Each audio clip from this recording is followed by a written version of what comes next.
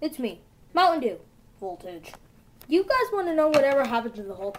Alright, let's tell the story.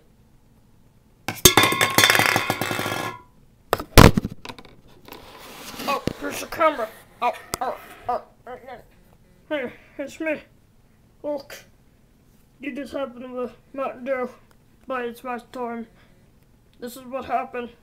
Look, some guy got a chainsaw, strapped me, killed me, but I, but I lived. I lived and I escaped. See, look, he chopped off my worst, and then this is worse. Oh, I fell. Sorry. Oh, oh, oh God. Oh, oh, oh wait. Oh, oh, oh, oh, oh, oh, oh, oh, oh, okay.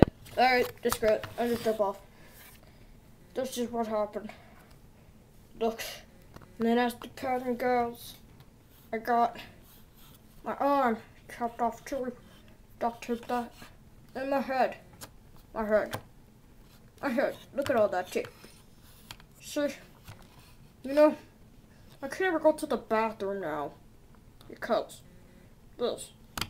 How do I go to the bathroom? I can't. No more. No more bathroom for me.